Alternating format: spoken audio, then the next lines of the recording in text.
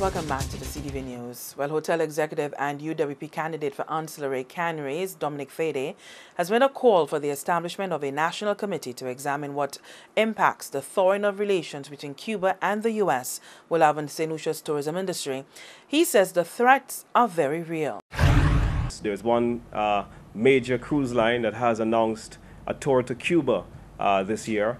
Uh, and, this in itself is a trend and an ind indication as to how things are going as travel restrictions uh, continue to be released and reduced uh, from uh, tourists from the United States traveling to Cuba, our major source market. So we want to address the situation frontally. So we're calling on the Minister of Tourism uh, to institute a national committee to come up with a strategy to deal with this Cuba situation uh, so that we can optimize the potential threats and opportunities.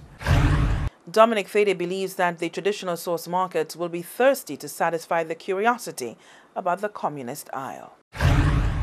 They get a million tourists from Europe, which is one of the leading, the leading um, tourist arrivals. They get over a million from the Latin American market, which is the best any Caribbean destination does.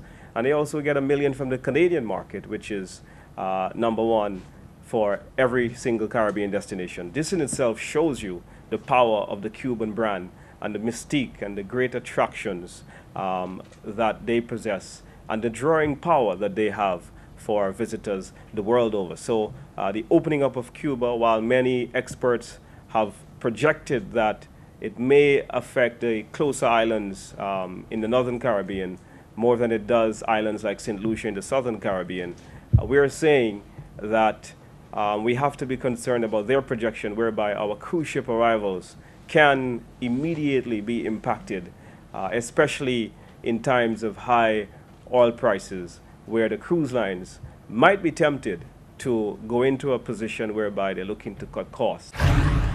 Meantime, the improved relations between the U.S. and Cuba has led to a stunning 36% increase in visits by Americans to the island, including thousands who are flying into Cuba from third countries like Mexico in order to sidestep U.S. restrictions on tourism. The dramatic rise was seen in the number of Americans with no family ties to Cuba who visited between the 1st of January and the 9th of May this year compared to the same period in 2014. In addition to the boom in American visitors, Cuba has seen a 14% jump in arrivals from around the world between January and early May compared to the same period last year. St. Ambassador to Cuba, Dr. Charles Isaac, in August, reported that there was an absolute shift being felt on the ground.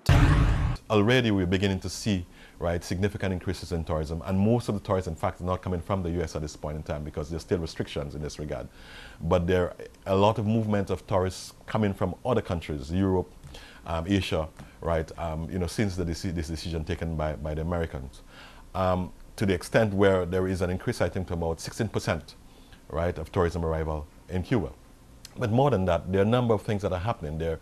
Um, Cuba has now um, or the, the US, from my information, has in fact approved licenses for, for five um, ferry services, right, to provide, right, ferry services from Miami to Cuba.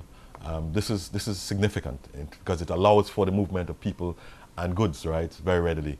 Um, that did not exist before, um, except for the charter flights that would have been available to the diplomatic corps and, um, you know, Americans, Cuban Americans and other Americans who would have first needed to have gotten a license right, to come to Cuba um, for, for non-commercial purposes.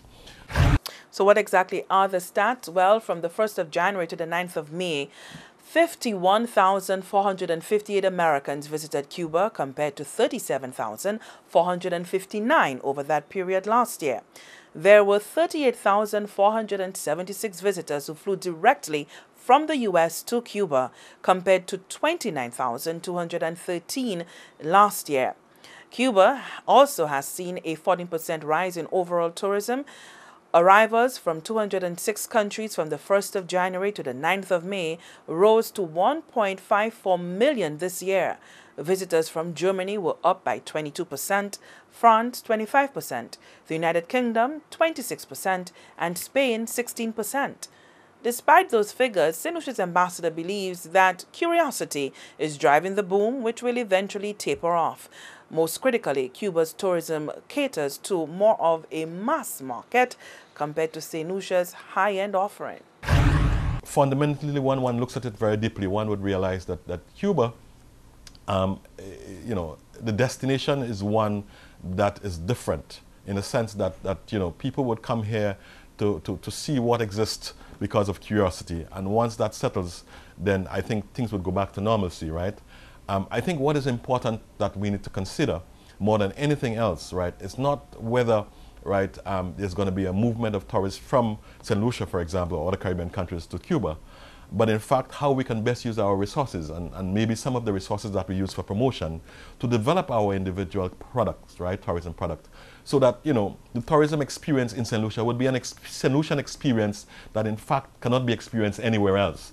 And as such, if each country was to do that, right, including Cuba, what we then would, do, would have is a creation of a Caribbean environment with each country have its own unique um, product characteristics that would allow for um, what we normally refer to as multi-destination tourism, which for, from my standpoint is ideal in terms of, of our ability to compete with other destinations of the world.